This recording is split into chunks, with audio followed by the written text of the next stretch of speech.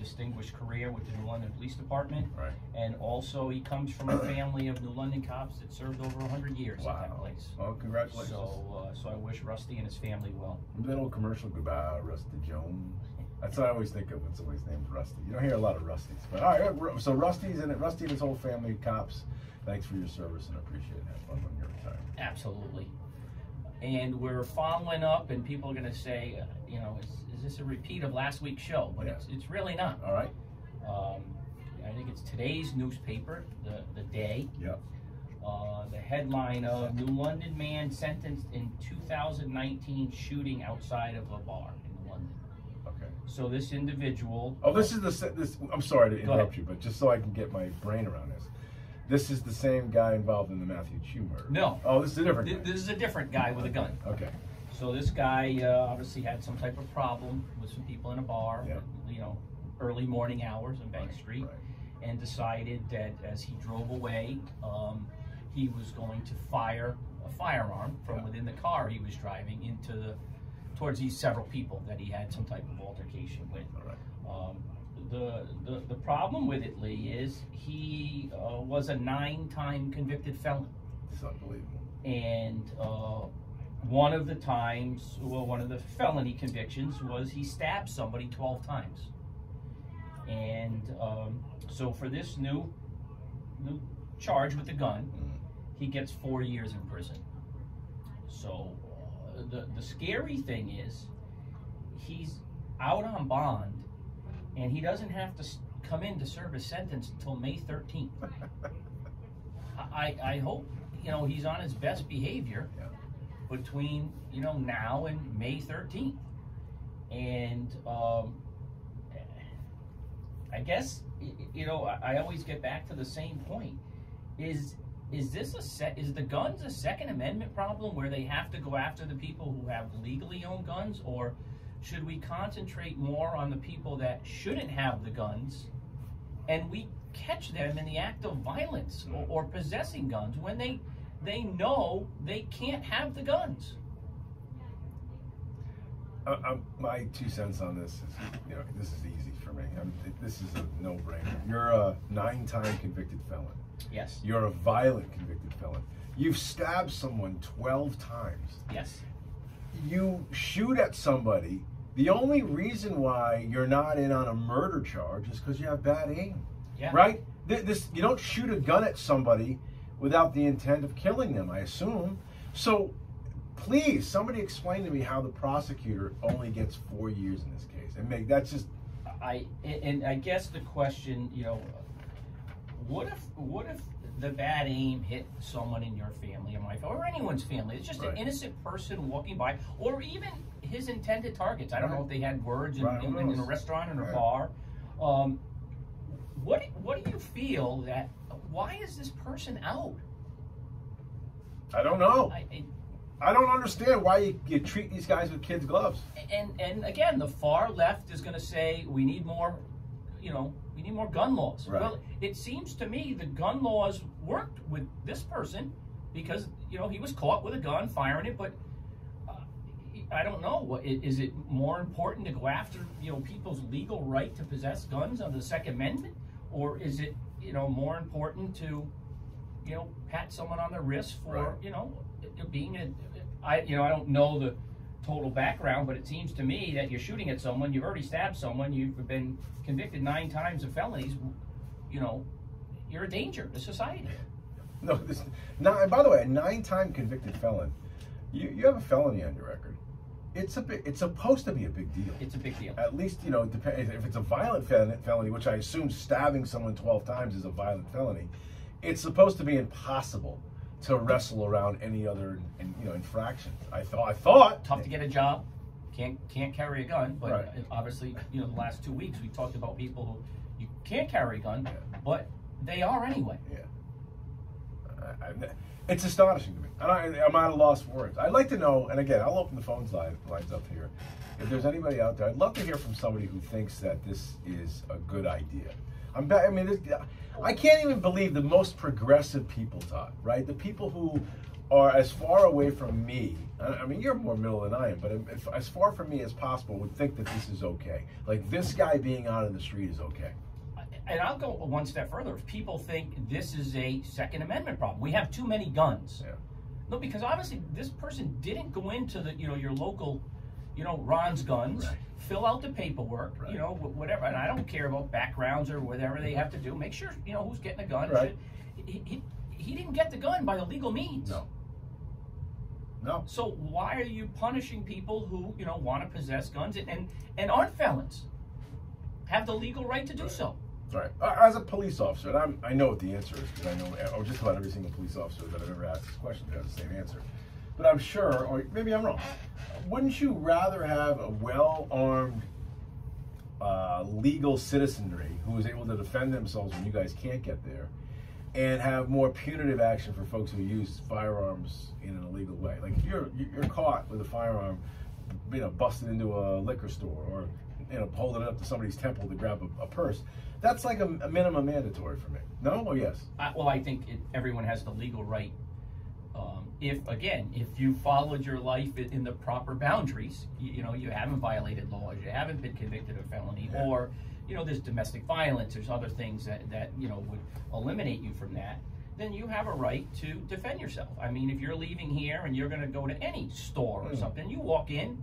And I don't know, somebody's robbing the store or pointing a gun at you. You, you know, you have the right to defend yourself. Right. And I don't think that people should lose that right because these people are running around with with illegal guns. Right.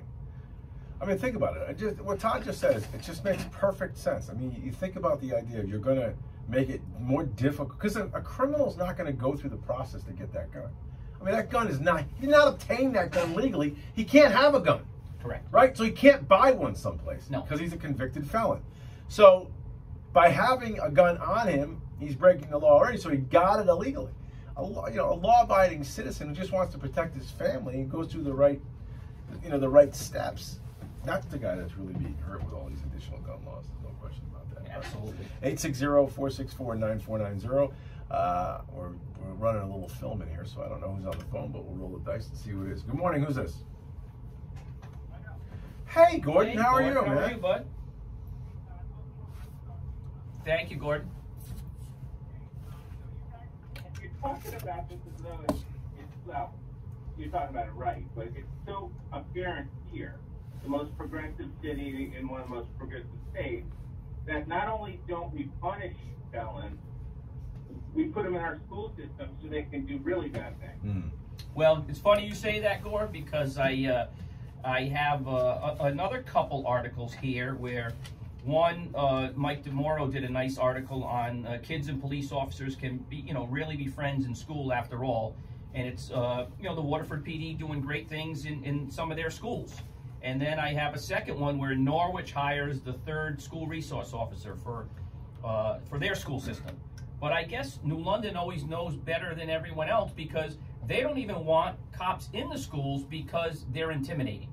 And we happen to graduate the same year from school where we had people, you know, in the schools. It didn't bother me any.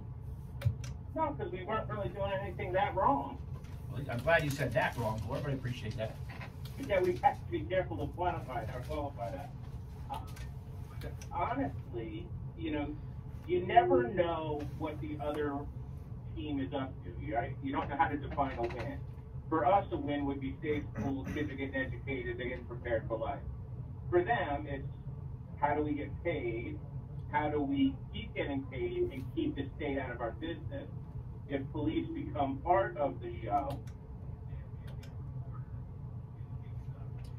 Well, coming from, you know, two people here in the studio who don't have children and talking to someone who does, I can only say if I had children and I had the choice whether to have an armed policeman in the school with my children or not, after what I've seen in this country, there's 100% that I want an armed police officer in that school. What's the?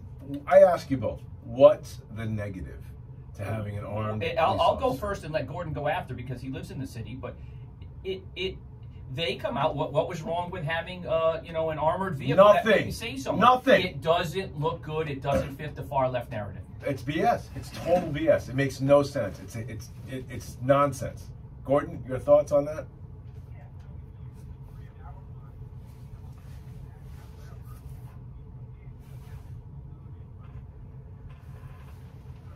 Mm-hmm.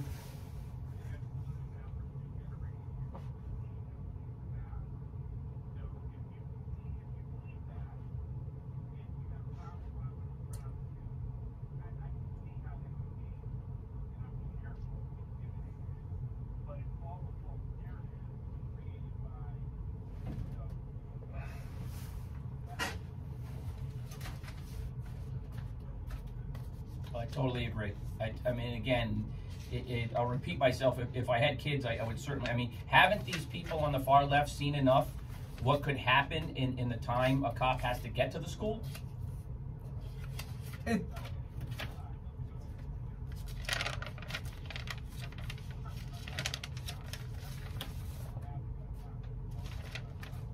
Sure, sure.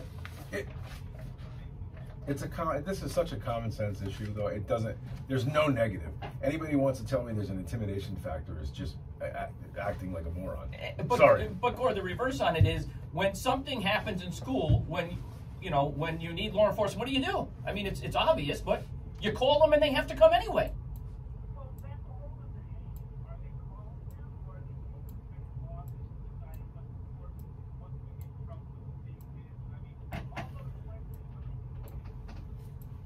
Well, I, I can give you the insight. I mean, I, I've been going almost a year now, but I can tell you this from my knowledge when I was there that New London, you know, the Board of Education uh, or the superintendent, um, if they had a school resource officer, wanted the school resource officer to be in plain clothes and to wait in the central office in case needed. And, and I give it to the administration of the police department. They said, no way. wow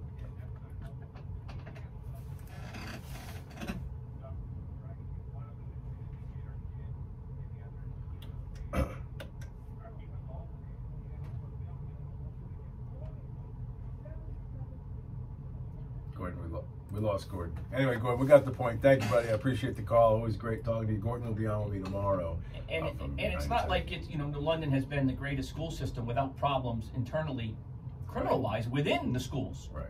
You know, so it. I always like what you don't want us there until there's a problem, then come in and clean it up. How are you supposed to build a better relationship? Let's let's us make this assumption, and that's in air quotes, that Perfect the example. relationship between police and kids are bad. Well, stick cops in there. Let them, you know, walk around, talk to kids. You know, see somebody who's having a bad day, sit down and chat with them. What's the matter? What's going on? Something going on at home? Whatever it is. Well, and Gordon brought up a great point of what is what is these what what are these children being um, taught where we don't want the cops around, we don't trust them, we don't like them. Well, you know, and then the shortage of police now. Then then you think some of these you know kids want to be a cop? No, they- they're they're taught or Right. told that the police are bad. Right, hundred percent. All right, let's try uh, line two. No idea who this is. Good morning. Good morning. Yes. Oh, coach, what's going on?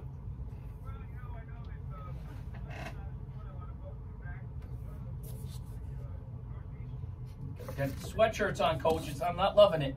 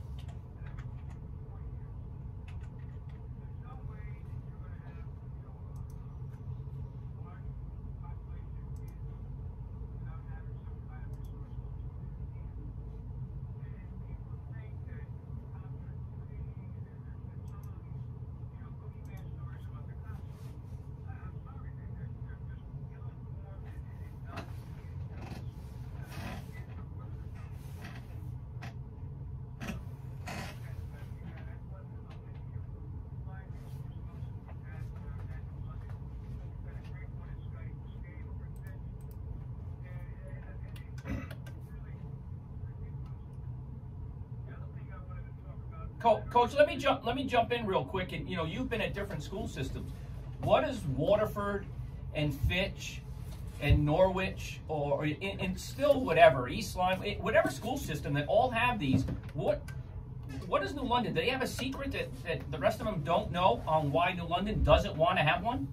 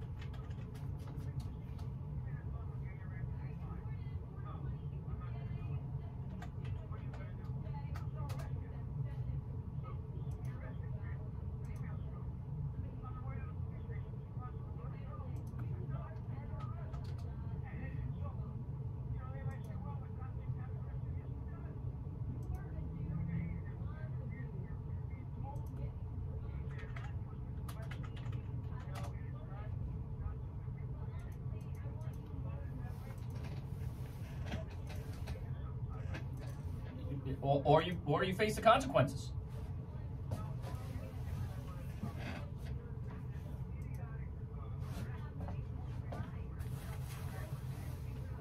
Yes.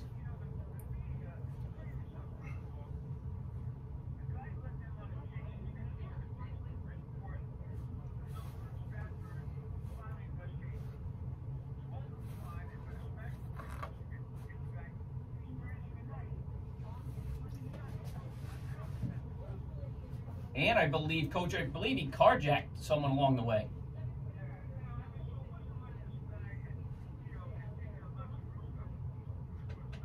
Right.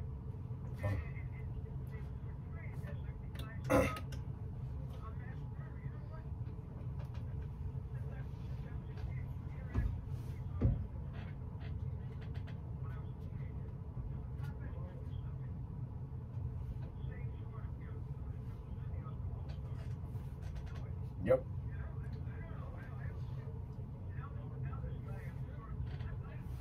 Eventually, he'll probably be cleared. But, you know, they dragged the guy through the mud, they ruined his career and all that.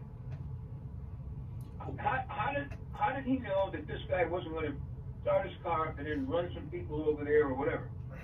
I, And, I'll add a, a couple things, and Coach, what what did they learn that they didn't know two years ago? This this didn't happen yesterday, you know.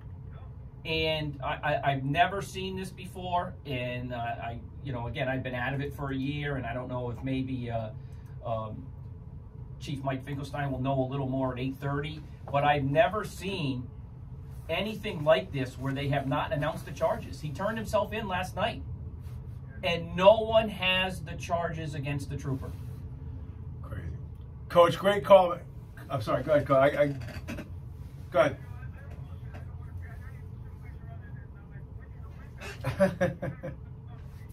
Coach, I'll see you later. Thanks, man. Good call. I'll talk to you later on. Maybe we'll get you, hopefully, get you back on in here by the end of the week. One more quick one before Todd has one other story he's got to try to get to. Good morning. Who's this? Hey, Dr. Lee and Todd, it's old Dan. Hey, Danny. Dan, What's up, buddy? Oh, I guess three, sort of three quick points. One, what Coach said, I think it's so important that that girl was arrested in school because kids got to be shown consequences early on so that they know there's going to be consequences for bad behavior. or else the bad behaviors, uh, you know, become worse. It's Gatorade today, it's it's stealing something tomorrow, and then it's shooting in a crowd of people the next day. So that's number one. Second, we, we, we don't need more gun laws, like Todd said, or gun control laws. We need criminal control laws, and we need criminal laws enforced and keep people off the street. And you know what? You, you talked about this guy, the nine convicted felon. A guy won presidency, I don't know, about 30 years ago, based on a guy named Willie Horton. Why the hell doesn't Bob, Mike France, all the Republicans find, find this? This guy could be our Willie Horton, and we just keep telling the same story. We we could probably find a different Willie Horton every day to illustrate the absurdity and actually the dangerous dangerousness of liberal policies. Uh, but the, and lastly, the New York Times, even and, which is liberal, the, quote a couple days ago: Democrats are broadly moving away from bolder calls for justice and police reform in response to rising crime and bad polling in their areas. It's bad polling that's causing them to, to change their tune a little bit and they obviously they don't they don't care about human life. And their their policies Todd has proven them wrong. Now the New York Times New York City every major city they've been proven wrong. If, if we can't illustrate this and win uh, then it, then it's over. I, I agree, Dan, and, and when you see some of these horrific acts that are uh, being perpetrated by these suspects, how many of them don't have a, a horrible background? I heard the Waterbury chief of police, uh, they've been having a, a surge in violent crime, and he went right on it and, and, and pleaded that the, the people that are uh, doing the crime, when they catch them, are dangerous people that are usually on probation, parole, some, you know, and either out on bond, and, and we, we don't keep people incarcerated like we used to that are a danger to the public. Yep. Dan, listen, I gotta let you go, buddy, today. Thanks. Sorry for the quick one, but uh, we got to get to the end of the show or end of the segment. Did you want to just share quickly the Well, uh, David Collins story? We'll, uh, I think we'll take it next week, but anyone that's going to uh, read the day paper today, there's a very interesting uh, story that uh, my buddy Dave, uh, Daisy Collins, uh, got his, his panties in a bunch, I guess, because he wanted a, a body camera video Yeah. Of an incident involving a London police officer, and the city wanted to charge him over six hundred dollars for it. So we can get we can get into the details of it um, about what they would call about you know because I was involved in the negotiations between the city and the union on you know what needs to be redacted. Right, Uh, okay. and we'll get into some of those y- you know the obvious you know sexual assault victim. You- you- Right, right, right. So they do have to before they're you know released on their FOI. You know someone has to look at it and make sure some of these things you know that need to be redacted aren't on there. And I think people are aren't understanding that, and I think we can go into it in a little more detail uh, next week. All right, buddy. Good, good job today. I appreciate Thank it you. very much. A lot of good info. And you can watch that video later on on my YouTube page, and I'll throw it up there after the show. All right, John LeBoutillier next. Stick around. Good job, man. That was good. Perfect.